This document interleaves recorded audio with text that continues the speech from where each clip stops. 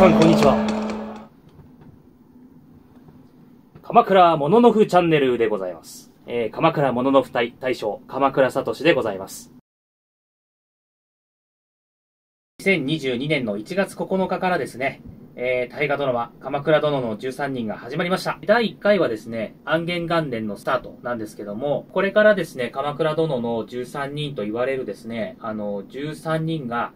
まあ、次々と登場してくるはずです。えー、源頼朝、挙兵時のですね、えー、13人の年齢をですね、まあ、推定にはなりますけれども、確認しておきたいと思います。三浦の義澄が54歳、二十歳の長本が51歳、小野田の森長が46歳、北条の時政が43歳、三好の康信が41歳、工藤の行正が41歳、梶原の景時が41歳、八田の巴が39歳、中原の親吉が38歳、比企の義和が36歳、和田の義盛が34歳、中原の広元が33歳、山の義時が18歳ということになります。続いてですね、源頼朝が亡くなった年、1199年当時の13人の推定年齢になります。源頼朝が亡くなったのが1199年なんですけれども、源頼家に家督が継承されまして、まあいろいろ問題があったということもあるんですが、えー、補佐するということで、え、13人がね、え、合議していろんな政治を取り決めていきましょうという13人の合議制というものが、え、行われるようになっていきます。で、その13人に選ばれたのが、まあ、この13人ということなんですけれども、え、なのでね、ちょうどこの13人が、この年齢の時に、え、13人の合議制として選ばれたということになります。三浦の義澄が73歳、足立の長本が70歳、小野田の森長が65歳、北条の時政が62歳、三好の康信、工藤の行正、梶原の景時がそれぞれ60歳、八田の巴が58歳、中原の親吉が57歳、比企の義和が55歳、和田の義盛が53歳、中原の広元が52歳、馬の義時が37歳。という形になります。まだあの決まってない人が4人ほどいるんですよね。えー、足立の長本、工藤の行正、八田の友家、中原の近吉です。まあ、この4人だってね、かなり重要な人物っていうふうに思ってると思うんですけど、えー、まあ、これからね、どういう配役が当てられるのか、えー、まあ、非常に楽しみなところですね。えー、これね、士族として見てもらうとですね、兵士が5人います。えー、藤原一族が8人います。源氏がですね、1人もいないんですよね。はい、えー、ではですね、ここで、それぞれの関係図をですね、まあ、ガイドブック等々でですね、まあ、関係図は出てるんですけども、それをちょっとだけ掘り下げて、えー、紹介できたらなと思います。まず、北条氏の紹介でございます。えー、北条の時政にはですね、子供たちが、まあ、たくさんいます。北条の政子と、北条の宗時と、北条の義時でございます。北条の政子はね、源頼朝と、まあ、婚姻関係を結ぶということは、まあ、割と多くの人が知ってると思うんですけども、実はその妹の阿波の局、ドラマではミーという名前ですけども、このミーが源頼朝の弟、あの前女と、まあ、婚姻関係を結ぶと。北条の時政の娘たちが、この源のね、一族と、えー、二人もね、婚姻関係を結ぶというところで、まあ、結構固い結束がね、生まれてるというのがわかると思います。北条の時政は5歳を迎えてます。牧の方という5歳を迎えてるんですけども、ドラマ上ではリックという名前ですね。えー、まあ諸説あって、父親っていう風にね、描かれることもありますけども、一応今回のドラマでは、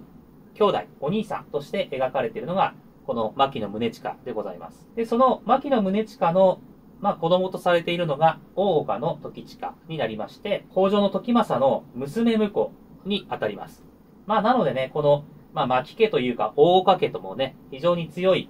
えー、関係が結ばれているということになります。雅な京都の貴族として登場するというふうに情報なんですけれども、駿河の国の大岡の牧というところの、まあ、豪族とされているので、まあ、それで牧の宗近と言ったり、息子が大岡の時近と言ったりするんですけども、えー、まあ、駿河の国の、まあ、豪族というか黒人でありながら、まあ、ドラマ上では京都の貴族として描かれています。この時近の時がね、時政の時ということで、えー、返記を受けてるんではないかなという、まあ、憶測というか推測できます。時政には他にも娘がね、えー、何人もおりまして、稲毛の重成とか、河野の道信とか、宇都宮の頼綱、平賀の友政という、えー、娘婿たちもいます。もう一人、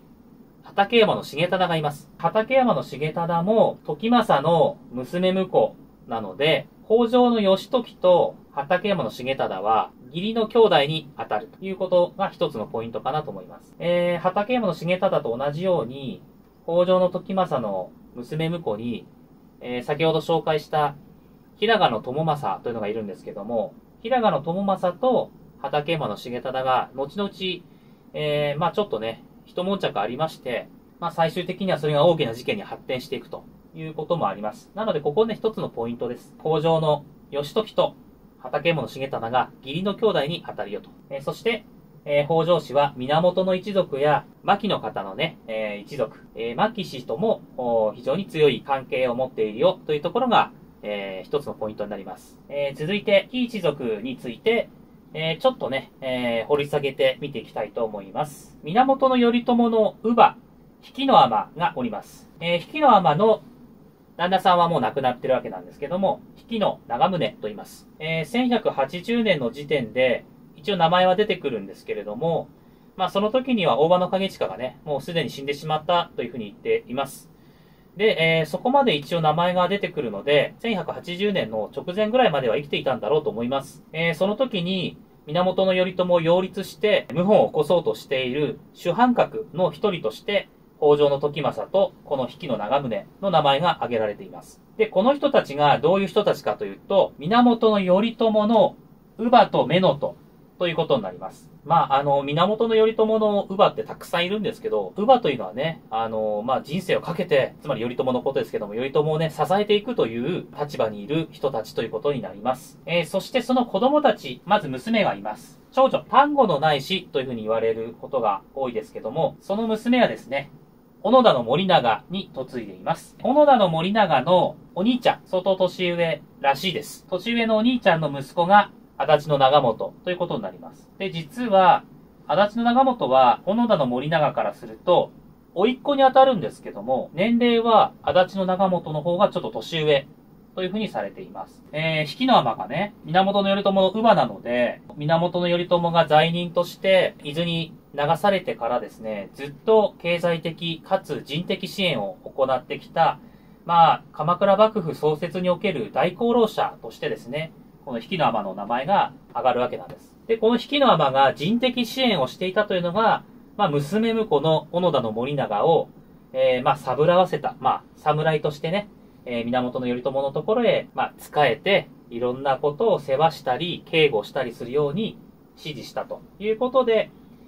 この人がですね、ずっと源頼朝のそばにくっついてるという理由なわけなんです。はい、えー、そしてね、他にも娘たちがいます。この娘は川越の重頼に嫁いでいるので、川越の局っていう風に言われることもあります。で、もう一人ね、なんと、これちょっとよく見てください。伊藤之助清に嫁いでる娘もいます。単純に考えて、比企と伊豆の伊藤って、すごく遠いんですよね。にもかかわらず、比企一族がなぜ娘を伊藤にやっているのかというところの、鎌倉聡の勝手な解釈ではですね、おそらく、比企一族が源頼朝を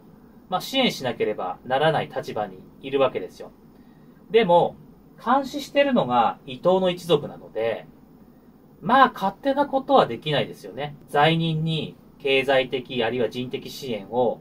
するということを勝手にやっていいとは、まあ思えないですよね。だとすると、東の一族と婚姻関係を結ぶことによって、源頼朝への支援をしやすくしていたのかな？憶測というか推測ができます。はい。で、もう一人ね、養子がいます。引きの尼の甥っ子というふうにされてるんですけども、えー、養子縁組して引きの尼の息子としてですね、えー、登場します。まあ、未知というですね、奥さんがいます。はい。えー、引きの義和と、えー、未知の間には、若さの局という娘がね、えー、生まれます。で、この若さの局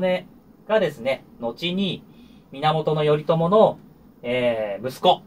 源頼家の奥さんになるということなので、比企一族がこの源頼朝にとって、ものすごい大きい頼りになる存在だということが、まあこれでね、なんとなく感じてもらえるかなという気がします。まあ北条もね、もちろん頼りになるとは思うんですけど、それ以上に恩義があるというか、比企の尼に対してもそうですし、長男というか嫡男のですね、源の頼家の奥さんとしてこの比企一族を迎えたというのは、まあ、非常に大きいポイントだと思います。最終的には、北条一族との争いに発展していくという部分でもあるわけなんですけども、川越の局も、それからこの、まあ、伊藤之助清に嫁いだこの娘も、えー、それからこの道もね、えー、この三人ともですね、実は、えー、源頼朝の息子の、息子というか長男、嫡男、源頼家の乳母になってます。伊藤之助清に嫁いだね、娘。えー、後に平賀の慶喜に嫁いでるわけですけども、この娘と、それからもう一人川越の重頼に嫁いでいる、えー、川越の局、えー、この三人がですね、えー、源頼家の乳母になっているということで、後継ぎ、源頼家を支えていく家として、この比企一族が選ばれていたということがね、わかると。はい、えー、続いてですね、比企の尼の息子、比企の友宗というのがおります。その比企の友宗の娘、まあ、つまり比企の尼から考えると、孫にあたりますけど、その孫と、なんと、北条義時が、えー、婚姻関係を結んでいるということなんです。最終的に、比企一族と北条一族が、まあ、決裂して争いを起こし、比企一族は滅亡していくわけなんですけども、北条の義時は、まあ、一応、比企一族から奥さんもらってるわけですよ。で、その奥さんの家を自らの手で滅亡に追いやっていくということになります。ただ、ドラマでは、北条の義時は、まあ、どうやら、八重と結婚していくことになりそうなので、まあ、この娘、姫の前って言うんですけど、姫の前がどういう風に出てくるかっていうのは、ちょっとわかんないですね。出てこないかもしれない。比企一族の奥さんをもらっているにもかかわらず、比企一族を滅亡に追いやらなければならないというところは一つのポイントになると思います。参考になったよっていう方はね、あの、ぜひいいねボタンとですね、チャンネル登録をよろしくお願いします。